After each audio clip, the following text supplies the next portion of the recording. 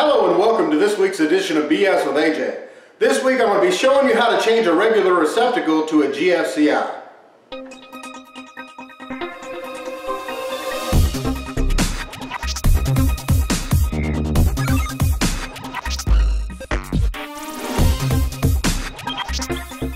Here's a few of the tools that you're going to need for this week's project.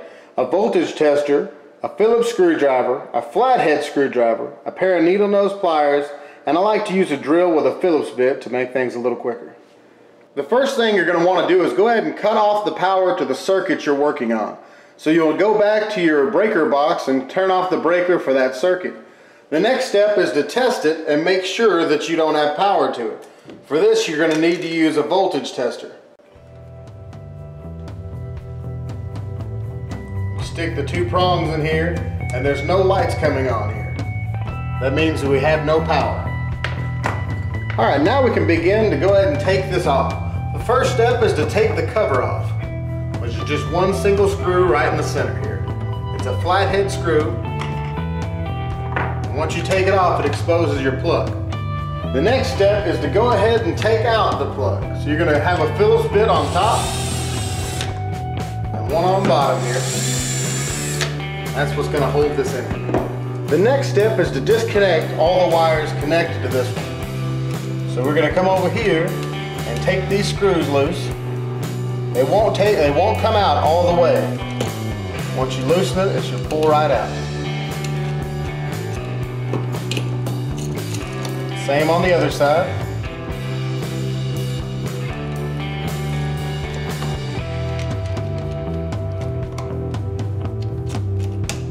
And then you're gonna have to disconnect your ground, which is the green screw on the bottom. These are normally wrapped around, so you're probably going to take your needle nose pliers and kind of pry them off.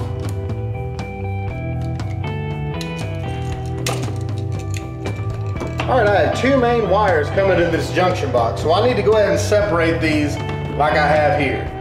This one here has a white, black, and a ground, and so does the top here. Now for our GFCI, you have a line and a load. You'll see it, it's written on the back of it here. The line is your hot wires is coming in. So you're gonna, if you have just one wire coming in, then you're gonna go ahead and hook it to the line side. But if you have two, that means this is gonna feed another receptacle down the line. So you need to make sure that you put the side, the hot side on the line side, and your other receptacle is gonna be your load. Now if you don't know which side is your hot side, what you can do is go ahead and get the wires separated and you can turn your power back on, but be very careful here. You can get electrocuted. You need to take your voltmeter and test your wires. If you put them on here and no light comes on, then that means it's your load side. On the top here, as you can see, this light comes on. That means that part's the, the line side. That's where you need to hook that up to. Now you need to go make sure that you turn the power back off before you go any further. All right, now that you've determined which side is gonna hook to the line and which side is gonna hook to the load, you can go ahead and start hooking your wires up. I like to start with the ground. So what you're gonna do is take this here, loosen up your green wire here, or your green nut here, and go ahead and feed in your two grounds. Now you're gonna wanna go ahead and tighten them down pretty good, but don't over tighten them. You don't wanna mess up your wires.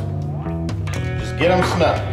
All right, our next step, we're gonna go ahead and hook up our line side. So what we're gonna do is take the top wires, which we've determined are the hot wires, and we're gonna hook them into our line side. You wanna make sure that you push the screw in, loosen it up all the way, and then push the screw in so it can go down all the way. And then you're gonna tighten it up. We're gonna do the same thing with the white.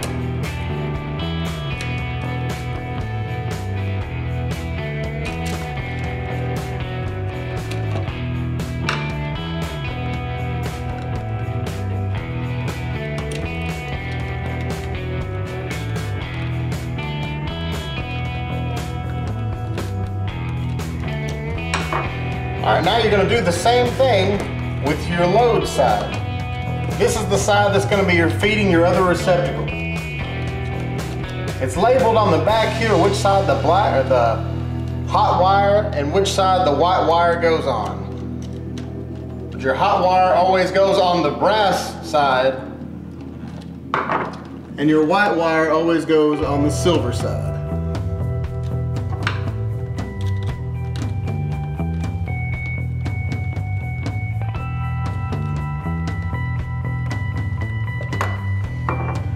All right, now we're just gonna take these wires and push them back in here.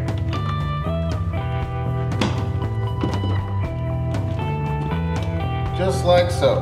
All right, now we're gonna put our screws in that hold the receptacle in the box. I like to get the top one about halfway and then start the bottom.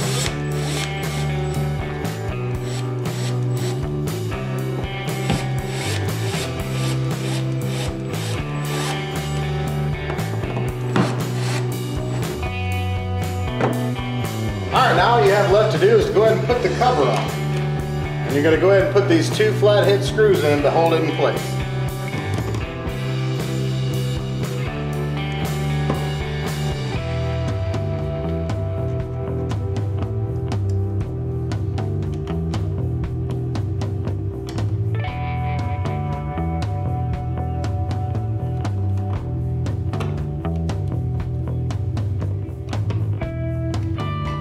All right, the next thing you want to do is go ahead and turn the power on.